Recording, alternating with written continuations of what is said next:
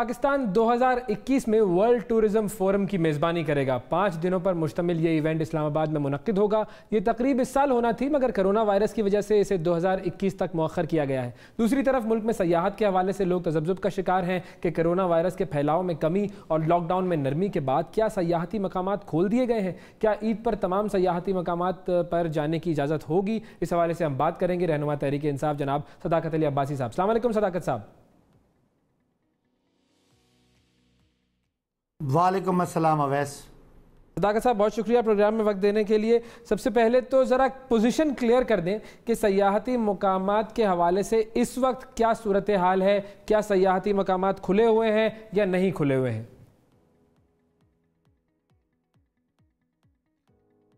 अवैस साहब बड़ी अफसोसनाक बात है परेशानी वाली बात है कि अभी तक सियाती मकाम सारे बंद हैं। और एक दो तरह के लोग एक तो लोग आते हैं और मुझे फ़ोन करते हैं जी कि यहाँ पे बाराकाऊ में से हमें आगे गुजरने दें। अक्सर ज़ाहिर लोगों को नहीं जाने देते और हम भी ज़ाहिर सिफारिश नहीं कर सकते। और दूसरी तरफ़ से मेरे जैसे बंदों पे एम एन एस पे एम पी एस पे इतना दबाव है कि आपका नॉर्दर्न एरिया सारे सारा आपका ये गलियात का इलाका मरी का इलाका अब तो कोटली सतियाँ भी एक टूरिज़म डेस्टिनेशन बन गई है। ये सारे का सारा एरिया बंद है। जहाँ की मीशत तबाह हाल है और लोग बेचारे जो एक मिडिल क्लास या इवन जो सफ़ेद पोश लोग थे, उनके भी बहुत बुरे हालात हैं और लोग माइग्रेट कर रहे हैं। पिंडी की तरफ़ जो एक बड़ी ख़तरनाक और खौफनाक सूरत हाल है।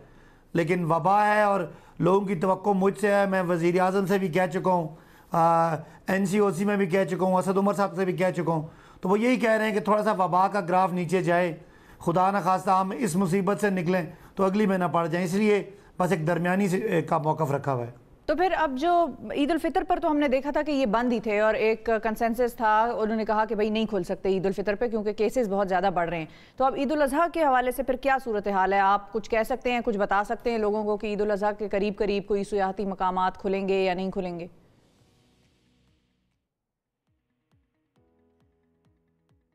शिफा आपके आने से पहले मुझे सुबह हर रोज़ सुबह डिप्टी कमिश्नर रावलपिंडी एक रिपोर्ट भेजते हैं जिसमें इंतहाई जो सीरियस मरीज़ हैं उनका एक ग्राफ है। अगर आपका टीवी दिखाए तो मैं आपको भेज भी दूँगा।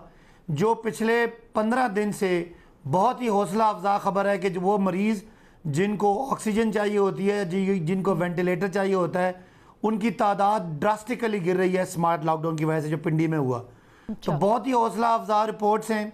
अब ये खुदा न खास्ता, हमें एक खौफ सा है दिल में कि कहीं ये ईद की वजह से एक्टिविटी बढ़नी है मंडियाँ भी खुलेंगी तो कहीं खुदा न खास्ता ये दोबारा, ये वबाद दोबारा से सर ना उठा ले।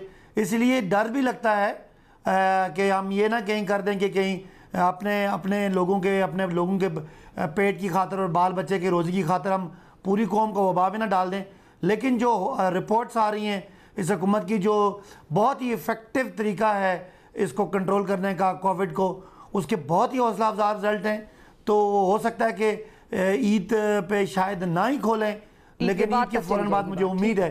कि अगर ये ट्रेंड बाकी रहा तो इन ये खोल जाएगी। आप ज़ाहिर है जो लोग इन सयाहती मकाम पर रहते हैं वो वहीं पर कारोबार कर रहे होते हैं और उनके कारोबार को जो असल बूस्ट मिलता है वो इसी सीज़न में मिलता है कि जब लोग आ रहे होते हैं। तो उन लोगों की इस वक्त सूरत हाल क्या है? जो वहाँ पर अपना काम ज़ाहिर है उनका तो काम सारा बंद हुआ है। नहीं बूस्ट की बात नहीं है। वैसे ये पंद्रह मई से लेके पंद्रह अगस्त तक ये सीज़न होता है। लेकिन पीक होती है यकम जून से कोई तकरीबन थर्टी जुलाई तक। इसमें ये अपना पैसा कमाते हैं और इनकी पूरी मीशत साल की इस पर चलती है। तो वो बिल्कुल पिस के रह गए हैं, बिल्कुल दिवालिया हो गए और मैं आपको एक और बात बताऊँ कि अब लोगों को खाली मरी का पता था। अब वैसे एक बहुत बड़ा ज़बरदस्त तरीन एरिया काउटा में एक नड़ पंजपीर जगह है, जो बहुत बड़ी रॉक्स हैं और इस इलाके की सबसे ऊँची रॉक्स हैं। उधर भी टूरिज़म का रास्ते बन रहे हैं और एक हाईवे बन रही है जो मरी से पंज पीर जाएगी। तो मैं आपको दरख्वास्त करूँगा आप मुझे अक्सर मरी जाते हुए नज़र आते हैं। आप इस तरफ़ भी जाएँ बहुत ही खूबसूरत एरिया है लेकिन और बहुत ही अच्छे लोग हैं लेकिन आजकल बेचारे बड़े परेशान हैं।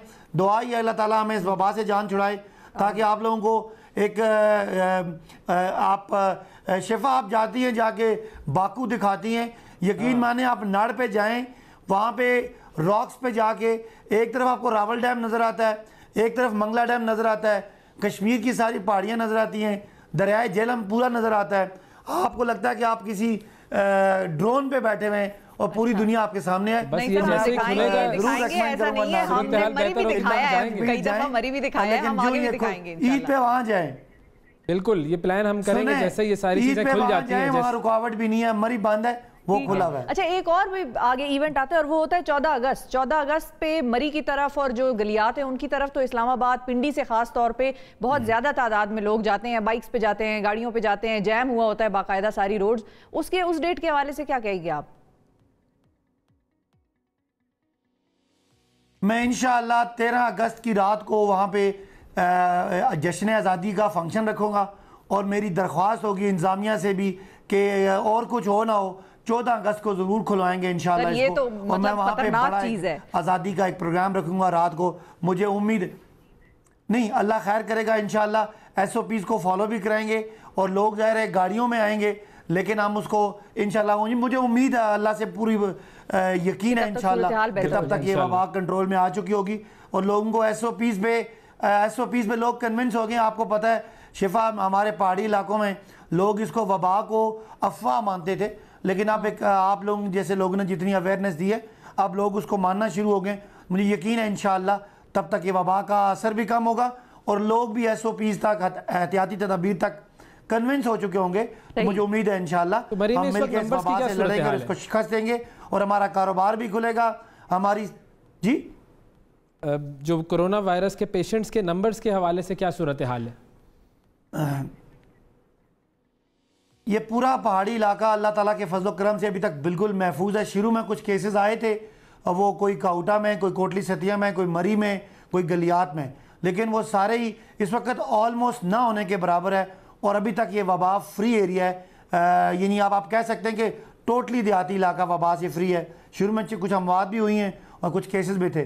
लेकिन वो अब आगाही और एहतियाती तदबीर के, के बायस टोटल ये कुछ गिने चुने चंद लोग हैं जो इस वक्त क्वारंटीन में अदरवाइज़ अल्लाह का फजल है कि ये वबा से पाक है लिया हमारी दुआ यह है कि ये वबा से पाक ही रहे। बहुत शुक्रिया अदा करेंगे सदाकत अली अब्बासी साहब आपका वक्त दिया आपने और टूरिज़्म के हवाले से बात की।